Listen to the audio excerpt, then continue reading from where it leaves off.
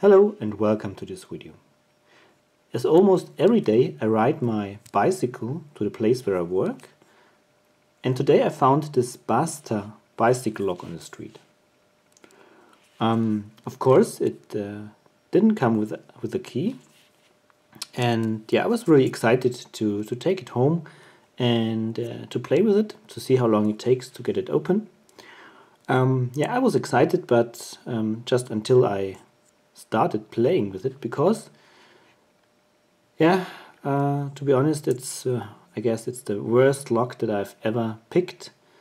Um, and I will uh, show you what I mean. So I apply tension and you can very easily sing up and pick it. So all the way in pin, pin 3 and I think it's a 3 pin lock pin 3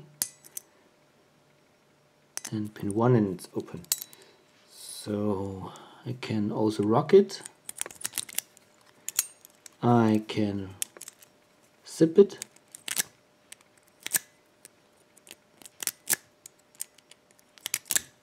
And it's open. And of course we can also rake it. So it's actually open immediately. So regarding uh, lock security, I will probably not recommend uh, this uh, this lock.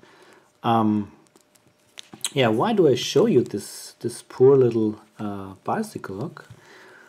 That's because I wanna further play with it. Um, I wanna open it up and look uh, what I can uh, what I can do with this lock. Maybe I can modify it. So let's see. Hold on. So it was very easy to get the two pieces apart. I just had to squeeze the, the lower part of the of the housing a little bit and it came off. And when I pulled out the, the, the top cover here a lot of small pieces jumped around which came out of, of this hole here. And it's empty now. You only see a little bit of a, a brass piece which is connected to the to the plug. And which moves or turns when you uh, turn the plug. And I finally managed to find them, uh, to find the pieces again on the floor, and here they are. It's the uh, locking bolt itself, which goes in like so. And then we have the spring and this top plate uh, which secures the, the spring or should secure the spring. You can see that it's not really it's not a tight fit. And this was actually uh, held in place only by the, the top cover. So when you manage to get off this this top cover or uh, cut a hole in here cut it or whatever um, which is uh, I think pretty pretty easy the, the, the lock just opens uh, by itself so not very secure also in this respective. So now we can, when I push it in all the way, we can see the, the locking bolt inside the hole here. You can see the bolt. Yeah, what else? We can now see the um, this, this, this brass piece here, which um, secures the the drivers and, uh, and, and, and the springs and we have a retaining pin which prevents the, the plug from being pulled out and turned um, too far. Um, I wanna try to get off this brass piece here, this top plate, and maybe I can pull out the, the retaining pin and then we'll take it further apart. Okay, I clamped the lock in my vise and hopefully this top plate comes out without any problems. Hold my thumb on it because I expect some springs. Yeah.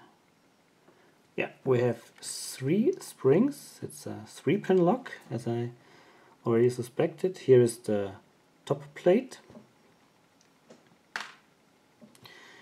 And now let's see if I can, oh no, first I will pull out the springs.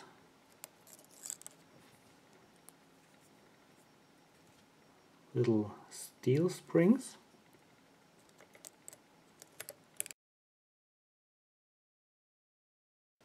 Okay, let me try to pull out the retaining pin.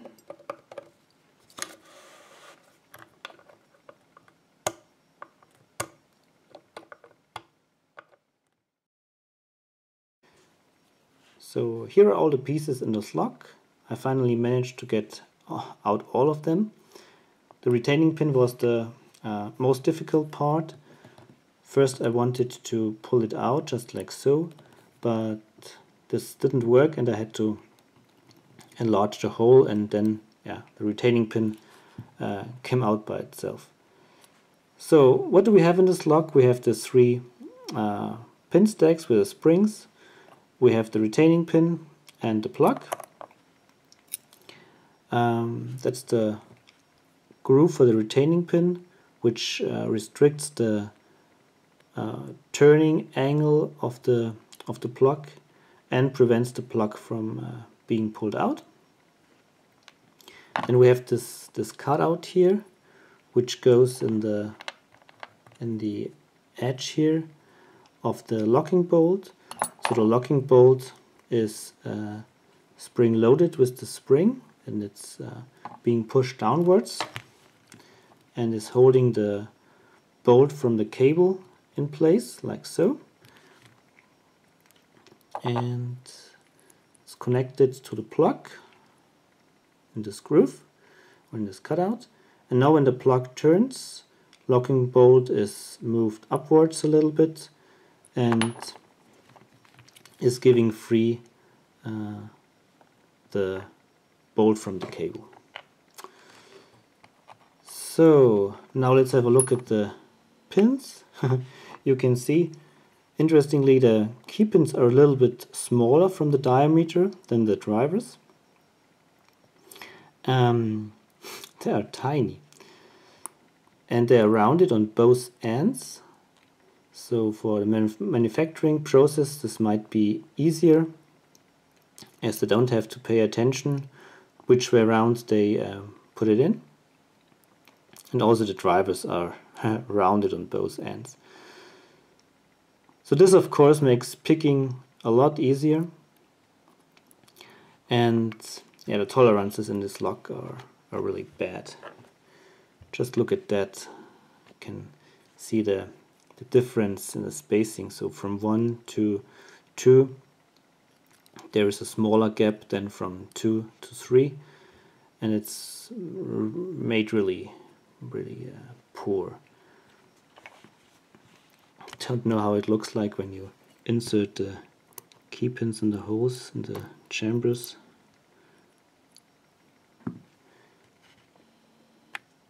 You can see how much uh, how much play they have.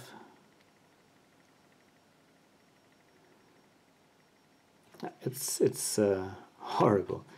So I actually wanted to, yeah, I, I wanted to try if I could improve the picking fun a little bit by modifying chambers and pins and so. Um, but I don't think it's it's worth the effort because when you have um, a lock with these um, bad tolerances, I think you can do what you want and uh, yeah, you will not change the, the picking behavior, behavior in a remarkable manner.